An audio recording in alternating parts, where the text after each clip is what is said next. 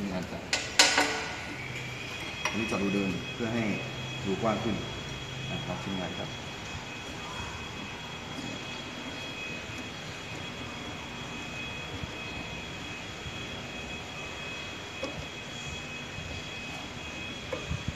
ตัวนี้ชิ้นงานเรามันเล็กถูกไหม มันจะถูกการสะบัดได้น้อยกว่าชิ้นงานที่เป็น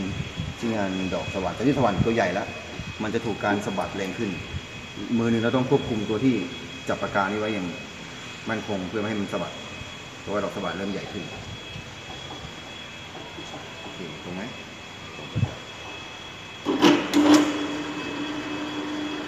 จับจับปากกาให้แน่นนะเพราะว่ามันต้องมันจะสะบัด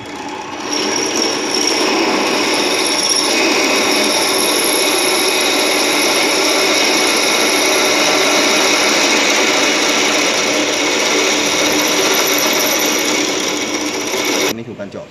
มันต้องใช้น้ำหล่อลื่นเพื่อให้มันเจาะได้ง่ายขึ้นแต่ตรงนี้มันเจาะแล้ว มันเพิ่มขนาดที่ถึงเราเราต้องการใส่รูกุญแจเดี๋ยวตัวนี้